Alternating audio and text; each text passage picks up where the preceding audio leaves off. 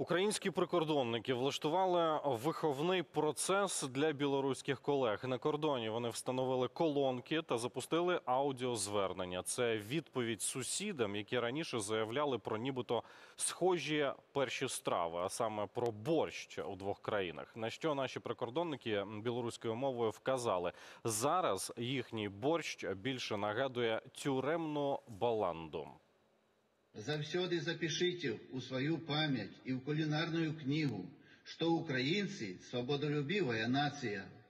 Мы завсёды змагаемся за свою незалежность. Навзамен вы на гэта не здольныя. Ваше теперешнее бульбяное варево по консистенции подобное до тюремной баланды, зусім не подобное до нашего украинского борщу. Мы не рабы, как каштовать вашего белорусского борщу.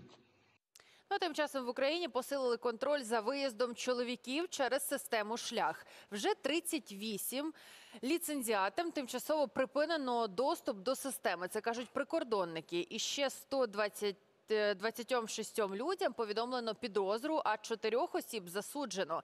Таке рішення в Держприкордонслужбі ухвалили через використання системи для виїзду за кордон та подальшого неповернення в Україну.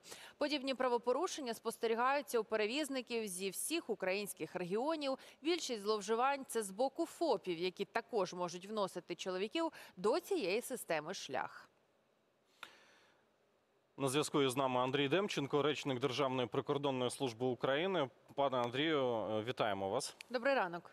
Вітаю студія. Добрий ранок. Ну, Давайте розберемося спочатку з системою шлях. Е, Коли ми говоримо про те, що 38 ліцензіатів е, тимчасово не можуть тепер перетинати кордон, а тут ще є повідомлення про 126 е, підозр для цих людей. Тут важливо зрозуміти головний принциповий момент. Ці люди вони ж собі не самі друкують ці дозволи. Ці дозволи видаються обласними військовими адміністраціями, наскільки я розумію.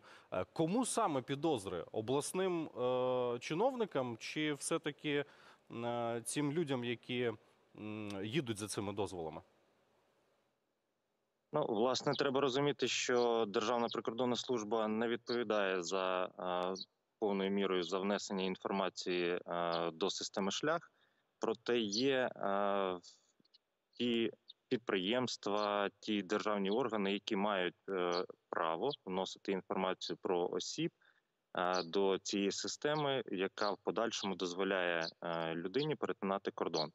то е, це і державні органи, тобто Мінінфраструктури або облдержадміністрації, які мають право вносити інформацію про осіб до системи шлях, шлях, а також ліцензіати, тобто суб'єкти господарювання, які також мають е, можливість вносити інформацію про своїх водіїв е, до цієї системи, які в подальшому можуть перетинати кордон. То е, власне ми е, фіксуємо, що е, ФОПи які е, є ліцензіатами цієї системи і е, мають е, доступ до неї щодо внесення інформації про своїх водіїв, які можуть перетинати кордон в подальшому. е, Періодично зловживають е, своїм е, правом і вносять інформацію недостовірну відносно осіб, які е, не є е, фактично водіями, але е, відносно них вноситься інформація в систему шлях, яка дозволяє в подальшому людині перетинати кордон. То е, наші е, співробітники оперативно-розшукових е, підрозділів, е, встановлюючи такі, е, такі обставини, в подальшому інформують і е, облдержадміністрації або ж Мін, Мінінфраструктури, які мають можливість в подальшому скасувати можливість е, таким е, суб'єктам е, доступ до системи шлях, а, також е, правоохоронні органи для того, щоб е, притягнути таких осіб до відповідальності за недостовірне внесення інформації про осіб, яким е, дозволено в подальшому перетинати кордон. А для вас, для я маю на увазі для прикордонної служби, головним таким е, маркером, е, що є під час е, перевірки на кордоні? Ну розуміючи, що е, цим е, цією системою може зловживати, е, ми посилили перевірку відносно осіб, які перетинають кордон.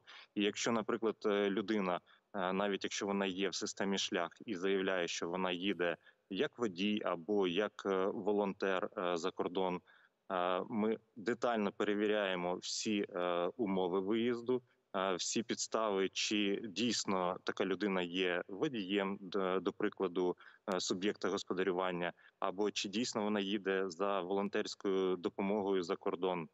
Бо досить часто е, з'ясовується, що водій, е, до прикладу, не, має навіть водійських прав, але він є в системі шлях і зазначається, що він е, перетинає кордон власне як водій. Е, Тому, якщо в нас є підстави вважати, що така людина не відповідає умовам виїзду, тобто вона або не водій, або не, не волонтер, то і, по-перше, такій особі відмовляється в перетині кордону. А якщо ми бачимо суттєві зловживання, то також інформуються правоохоронні органи для того, щоб в подальшому встановити відповідальних е, осіб, які вносили інформацію відносно е, таких людей, щоб їх подальшому притягнути до відповідальності. Пане Андрію, правильно ми розуміємо, що здебільшого оцих порушників ви ловите, фіксуєте ці зловживання саме на пунктах пропуску. Тобто ви пробиваєте через систему, і там видно, е, ну які є порушення, немає, коли був виданий цей дозвіл і так далі. Але питання е, також в тому, що е, правильно ж система шлях дає дозвіл на виїзд на певний час, так там на фіксований термін. Вірно? Наскільки? Так, якщо говорити про е, водіїв суб'єктів господарювання, то такі особи можуть перебувати за кордоном е, не більше 60 днів е, безперервного перебування за кордоном. Якщо говорити про осіб, які їдуть з метою волонтерської діяльності, то такі особи можуть перебувати за кордоном не більше 30 днів за кордоном. Але ми також е, досить часто фіксуємо, що е, особи е, можуть порушувати умови виїзду коли їм чітко встановлюється термін перебування за кордоном, але вони можуть бути за межами нашої держави більше е, більше ніж е, їм дозволено встановленим встановленого терміну. То також про таких осіб інформуються.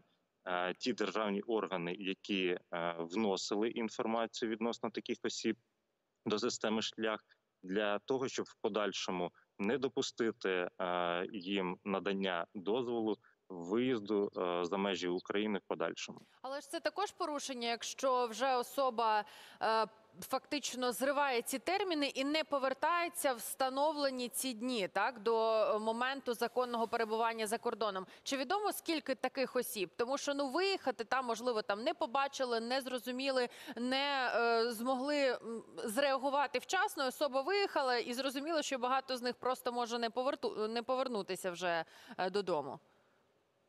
Ну, якщо до прикладу взяти той аналіз, який ми проводили протягом перших е, місяців цього року, то е, близько півтора відсот, не більше півтора відсотки е, осіб, які були внесені до системи шлях, особливо по ліцензіатам, суб'єктам господарювання, порушили термін перебування за кордоном. Е, Понад той термін, який встановлений е, правилами перетину державного кордону, і вони чітко про це розуміли, що вони мо- могли перебувати, до прикладу, за кордоном не більше 60 днів, але вони цей термін перевищили. Тому про таких осіб ми знову ж таки інформуємо Мінінфраструктури, облдержадміністрації, а також інші правоохоронні органи, які в подальшому можуть. Зреагувати на це і не допустити е, перетин кордону в подальшому таких осіб, або ж при встановити е, обставини порушення і е, за необхідності притягнути осіб до відповідальності. Так, власне, тепер, коли пан Клименко, наприклад, так, Міністерство внутрішніх справ говорить про те, що будуть відкриватися кримінальні справи для порушників оцих громадян призовного віку 18-60, е, то мається на увазі, що е, підозру можна отримати на кордоні при поверненні до України, маючи факт, зафіксований прикордонною службою, про порушення умов е, перетину кордону. Виходить так. Це так треба трактувати. мова йде про те, що е, напрацьовується е, механізм для того, щоб притягувати е, до відповідальності таких осіб, але вже в межах норм чинного законодавства, чи це буде адміністративна відповідальність або можливо карна відповідальність, в залежності від того, е, як і чому людина порушила умови виїзду е, за межі нашої держави. Але поки, ну я розумію, що це, мабуть, не до прикордонної служби все-таки запитання, але от все ж таки для розуміння ситуації, поки людина, яка з порушеннями, от такими от е, виїхала там через шлях, наприклад, або якимось іншим чином, перебуває на території Європи, вона е, знаходиться в принципі під захистом е, юстиції Європейського союзу, тому що є законодавство про прихисток, і Європейський союз це підтверджує, що ці люди вони захищені таким чином. Тобто вони легальні на території Європейського союзу, але е, настає момент відповідальності лише після повернення. Ну, це так, так, ми, не, ми, так. не- ми не говоримо про умови перебування людей е, в Все, я зрозумів. Мгм. Тій чи іншій країні. Йдеться мова про дотримання українського законодавства, дотримання умов виїзду, або ж якщо людина незаконно перетнула кордон, то щоб були е, напрацьовані законні механізми притягнення її до відповідальності, чи то адміністративної, е, і на даний момент більшості це адміністративна відповідальність, або ж докарна відповідальність, якщо це більш е, жорсткі порушення. І ще про інші лазівки, пане Андрію, бо тут дуже важливо, окрім шляху, що ще ви фіксуєте, що порушують українці, чоловіки, зокрема, тому що ну з відомого, що можна виїхати за межі держави, якщо ти супроводжуєш особу з інвалідністю, до прикладу, так або їдеш доглядати за хворими е, батьками, дружиною, дітьми. Е, Але ж це також ті моменти, на яких можна спекулювати, купувати довідки і так далі. З цим налагоджений механізм перевірки. Ну, дивіться, е, щоденно прикордонники затримують близько 20 осіб, які намагаються незаконно перетнути кордон. Це і по поза межами пунктів пропуску, і безпосередньо в пунктах пропуску. І також наголошую, що щоденно близько 120-150 осіб отримують відмову перетині кордону, оскільки вони не відповідають умовам перетину кордону, тобто е, вони не підпадають під ті виключення, які встановлені правилами е, перетину державного кордону, що е, визначені постановою уряду номер 57. Ну це в більшості мови власне йде про чоловіків у віці від 18 до 60. То якщо е, по поза межами пунктів пропуску чоловіки е, просто намагаються перетнути лінію державного кордону, то в пунктах пропуску чоловіки. е, Як правило, використ- намагаються використати е, підробні документи, в тому числі е, документи з військоматів, які е, визначають їх, що вони непридатні до військової служби. Або ж, е, як ми часто бачимо, чоловіки підроблюють документи е, про, про своїх дітей. До прикладу, в них е, немає трьох дітей у віці від 18 до 18 років, проте вони е, намагаються на паспортний контроль надати свідоцтво про народження, про те, що в них, начебто, є е, троє дітей, або ж е, як, як не прикро, надаються інколи і свідоцтва про смерть дружини, оскільки батькам-одинакам також дозволено перетинати кордон.